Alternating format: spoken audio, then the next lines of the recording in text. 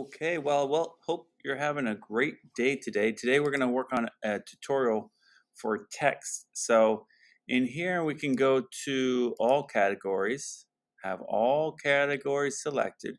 I'm going to go to all skill levels and I believe it is right here, add text. And we're going to go to create and edit text right here. That's what we want. It has a big it looks like a big red rock and it has a letter R on it that you can see right here from the thumbnail. Click on that and we're going to start the tutorial. So I'm going to move some of these things around so that we can see things better for this. And I am going to place that.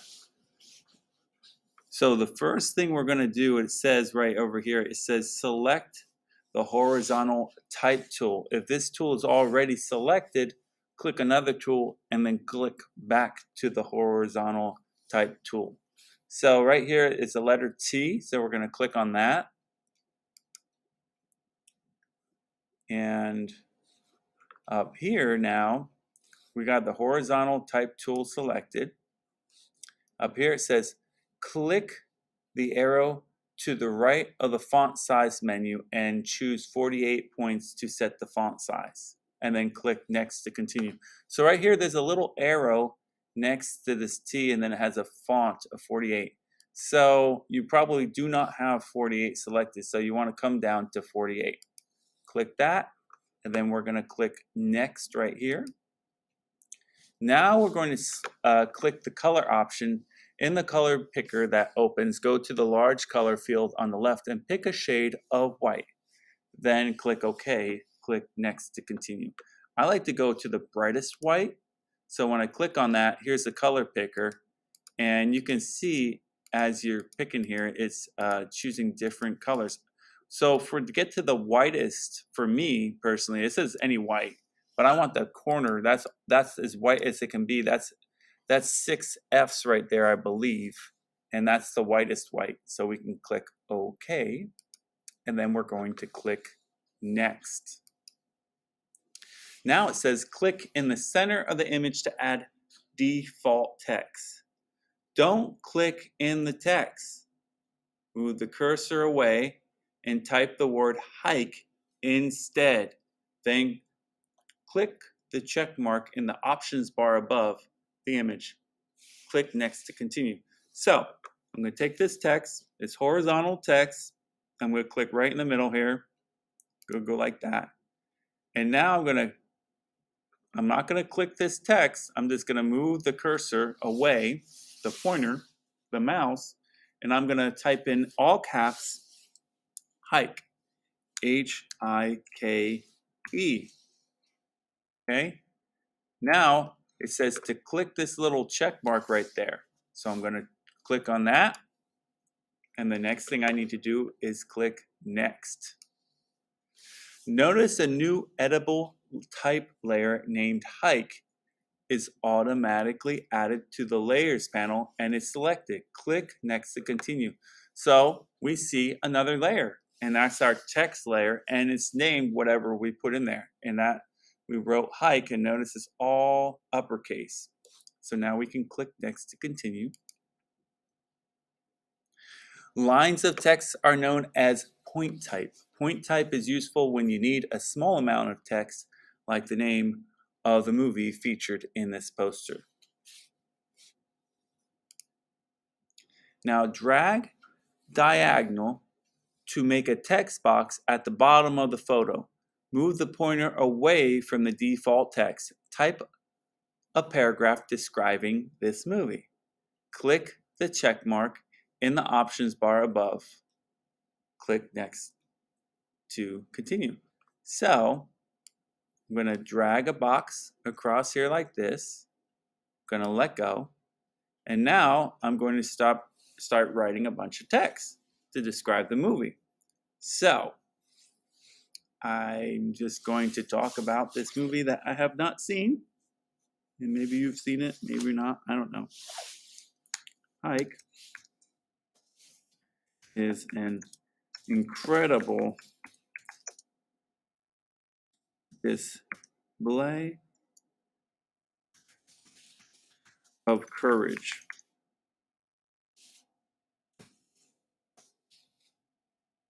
Uh, let's see, you can't see it because that blue box is over it, but I'm just going to keep talking about people when meeting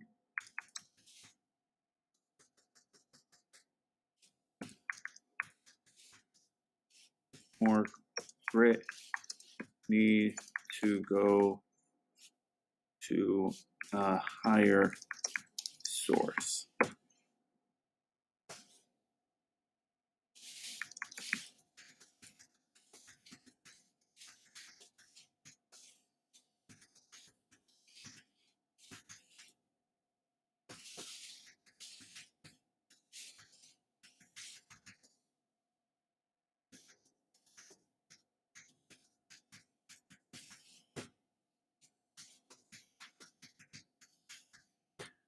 So we need each other to be encouraged. We can't always be our own island of power. Well, I misspelled that. Again, I haven't seen the movie, so I don't know. Um, let's show truth and mercy when we are hiking all around us in this life. I don't know. We can always be our own island of power. Let's show truth and mercy when we are hiking all around us in this life. There you go. That's a description. I don't think that's the movie, but if you have a better description, that's great. Now, I'm going to click on this little check mark right there, and then I'm going to click next. Now, Ike is, an, is an, oh, I need to fix that typo. Incredible display of courage. People, when needing more grit, need to go to, go to, go, need to go to a higher source. We also need each other to be encouraged. We can't always be our own island power. Let's show truth and mercy when we are hiking all around us in this life. So a couple of typos, but right here it says choose window properties, windows, and then we're going to go to properties. Okay.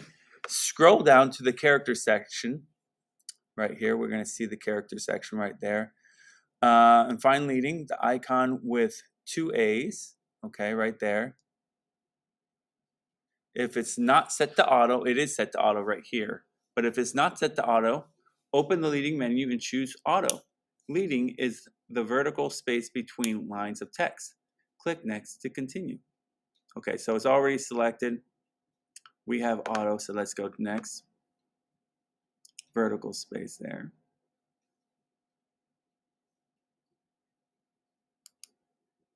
Scroll down to the paragraph section.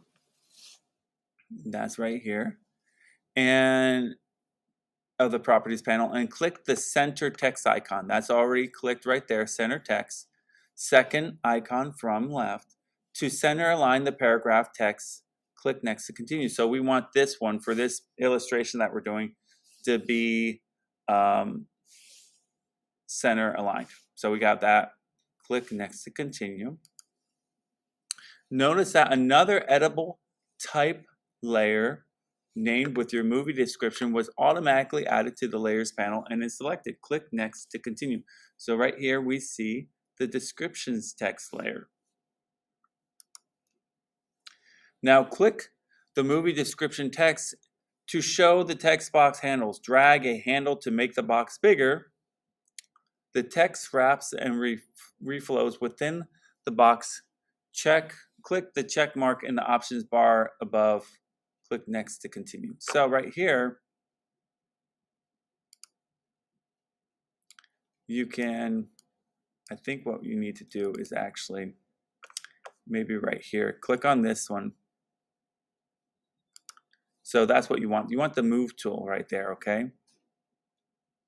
When you have the move tool selected and you have show transform controls, then when you move this box, it's going to make the text bigger or smaller, okay? So if I want it really big, I can go like this. If I want it a lot smaller, I can go like this.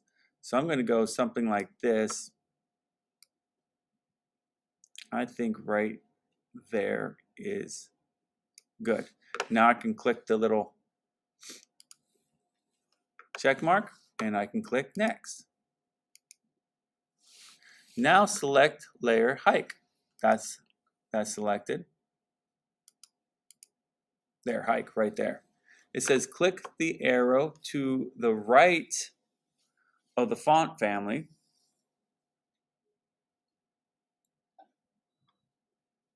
And choose any font you like. So here we see, let's put it in text here, right? So when I have it on text and I have this layer selected, I can change the font to whatever I want and I can see that changing. Ooh, I like that. Where was it? I think Bradley Hand looks kind of cool. Let's try that. And then choose any font you like. So we chose that one. I like that one. You can change it to whatever you like. You can click next. Click the size. So let's see. Do I want that? I think a, a bigger size would be even better. See how that went bigger?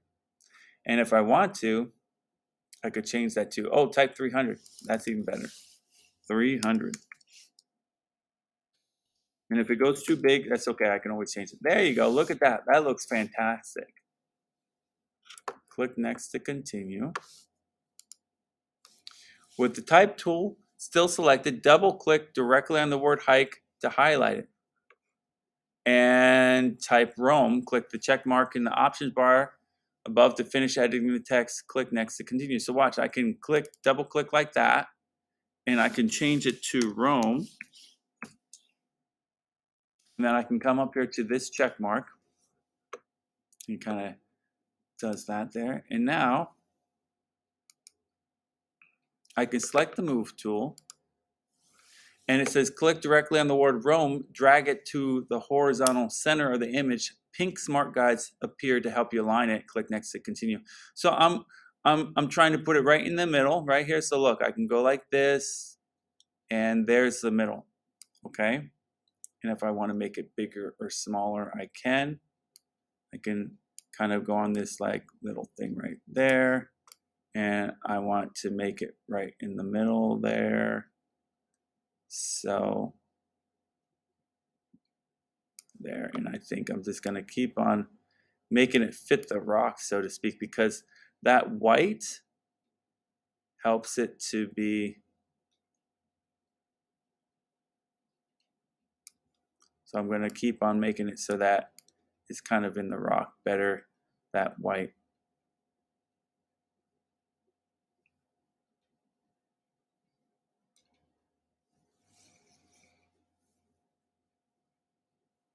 Just getting it middle there.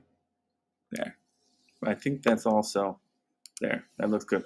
Okay, let's click the check mark right there and then click next select the, it says select the type layer that contains your movie description, click next to continue. So now I'm going to click this one.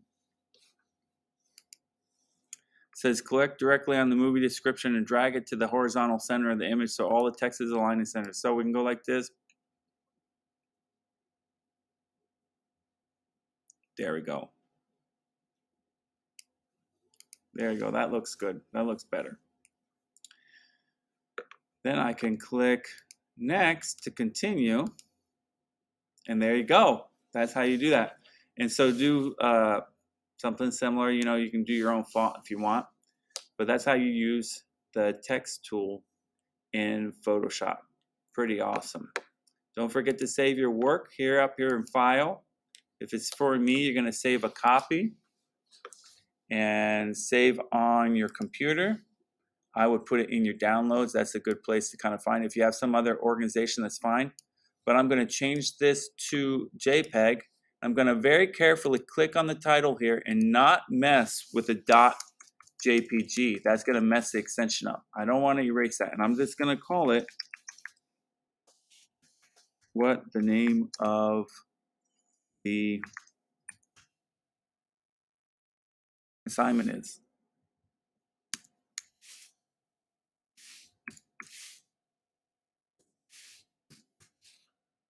I'm going to go save. And six is good. Okay, so now it's saved. There you go. That's editing with the text, okay?